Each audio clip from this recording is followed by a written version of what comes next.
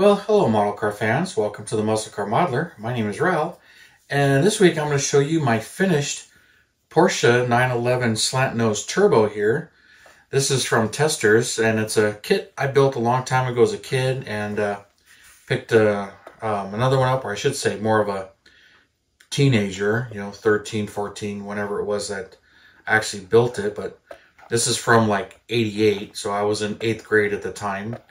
Um, but yeah, this is one that uh, I reminisced about and decided that uh, I was playing with it a little bit here and there and was working on it.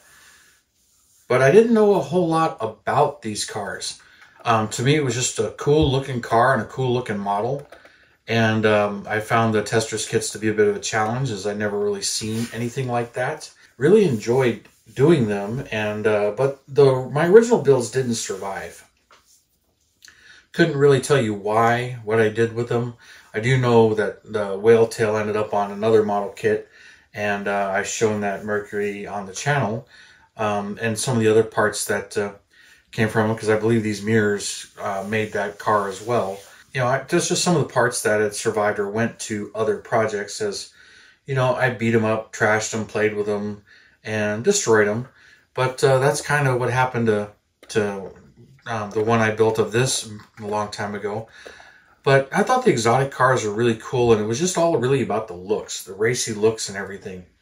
Even though I didn't know much about the car, um, I've done some reading on them and kind of enjoyed doing the research on them because, like I said, didn't know much about them.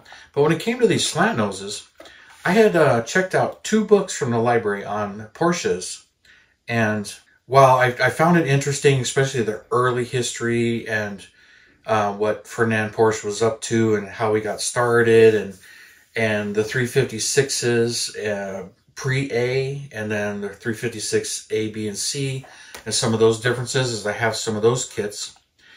And then, uh, you know, when the 911s came out in 67 and it was pretty much the first uh, all Porsche with uh, no VW parts in it.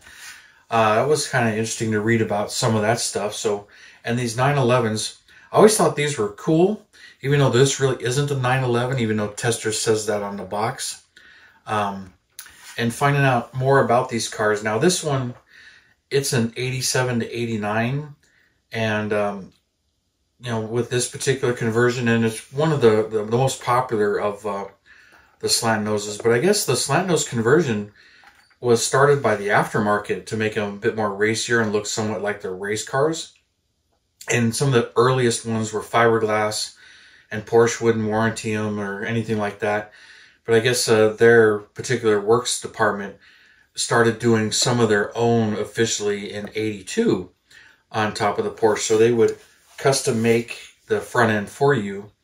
And, uh, but it was expensive. I mean, I was reading a couple of different numbers and nothing really um, solid on it, but you know, even the Testor's box says it was 28,000 for the conversion. I read somewhere else it was uh, 23, 24,000. Um, and another site was talking about how they were $50,000 for the conversion.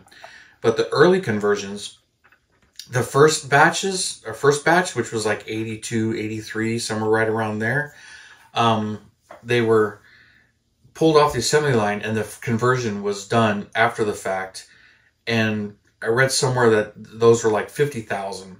Those may have been the first ones, but they didn't have any pop-up headlights or any of this. The, front end was just flat, and then they had different front bumpers, and they used the square headlights and different configurations. They were all pretty much custom made and done to um, the country of origins rules and whatnot on, on what applies. And then the second batch was the same way, um, which was later done um, like 84, 85, somewhere right around there. Oh, in the first batch, there was something like 58 cars. Uh, no your U.S. cars. The second batch was something like 208 or 209 cars. Those had pop-up headlights, but they didn't have these gills up here. And um, that's when the boxed quarters or rockers appeared, was in that batch. And then the cooler vents here would appear. So some of the ones that are on this particular version started to appear by that time. But this one represents an 87 to 89, which is by far the most popular ones. um, as it was said that was 686 were done. Um, and interestingly, most of them, 630 of them, were U.S. market cars. They all went to the U.S. 56 of them, well, I guess 50 went to uh, Europe and six went elsewhere. Um, but those were like 20 something thousand dollars. So the US ones are very common. So if you see you see one, this is the one you're going to see, and the biggest distinction there is um, the vents up here. Uh, the front bumpers are a little different because I guess the U.S. cars, depending on the state, were not allowed to have the oil cooler in the front, so they would have them in one of these vents here. So there's a number of differences, and I found that kind of interesting because I decided since I built my other 911 um, turbo that was not a slant nose as a US spec. I decided to do this one as a Euro spec, so I put the amber turn signals in the back, the Euro plates on it, and uh, also on this one, I put the Euro um, side marker lights right there. And we're just kind of going for that look, but then to find out of the 680, only about 50 of them were Euro models. So I found that interesting. And I didn't cut the hood open on this one to expose the frunk and all the stuff in there. So I had a lot of fun building this one and I had a couple of challenges, but before we do that, let's take it outside and see how she looks in the sun. Well, here we are out in the sun with the Porsche 930 slant nose turbo here, or as Testor's box says 911. But um, love this paint, this Mazda Soul Red from Scale Finishes. It's uh, more of a maroon burgundy in the shade, but um, when the sun hits it, it really pops. Um, and I just really like it. So I picked up this color just to see how it was and decided I was going to use it on this car as I really didn't have a car for that color. But uh, really liking my decision here. And uh, she looks great. But yeah, you can see when it uh, shades especially under that uh, whale tail wing right there. You can't even see the turbo on there. Um, just shading it really good, or at least I can. Maybe the camera's picking it up. Maybe you guys will see it, but man, this thing look good. Really happy with the way this one came out here, even though I did the Euro version, which those are very rare. But, uh, you know, this was a fun build. Took my time on it, just wasn't in a hurry. This wasn't one of my main focus builds. I just kind of did it as I was working on other builds and you know needed something to dry or sit or wait. And then that's what the, this one was. Kind of something to build when you know my modeling time when I, other things were taking up the time. So like how this looks man. All right we'll go back inside all right i hope that looked really good but when it comes to building this this was um, it really wasn't that difficult, especially after doing the other one. So I didn't find it as challenging. Um, the motor is still like you know, like 50 parts or something like that. But the biggest surprise, and I did a video on it, was uh, this um, whale tail. The one I had was mismolded and shrunk, so this grill would not fit. And um, so I had to take one from my parts kit. So thankfully I had a parts kit and put it on there. Um, so that kind of slowed me down but it gave me time to do some of the detail here, like the black down here, um, painting the wheels, and just finishing this one up, but taking a little bit slowly. And I went with the brown interior, but um, this one, I'll take the uh, engine lid off here because this thing, it falls off really easy, and it's also kind of awkward because the wiper glues to it. Um, so it kind of makes it interesting, but you know, I love the way this thing looks. I always thought this whale tail was really cool. And it's got the turbo sticker in there. Um, hard to see with this paint and everything, but we'll put that aside. But the motor came out um, beautiful.